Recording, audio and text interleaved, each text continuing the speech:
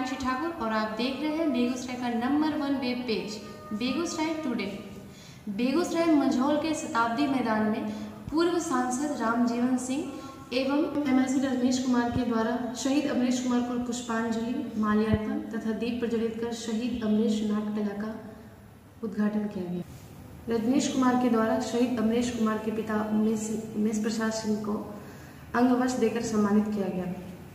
पूर्व सांसद रामजीवन सिंह ने कहा कि मंझौल ग्राम में न्यू हॉस्पिटल बनकर मृत प्राय की अवस्था में है। उसे सुचारू रूप से चालू कराया जाए। बेगूसराय टुडे के लिए अंकित कुमार झा की रिपोर्ट। आप स्वागत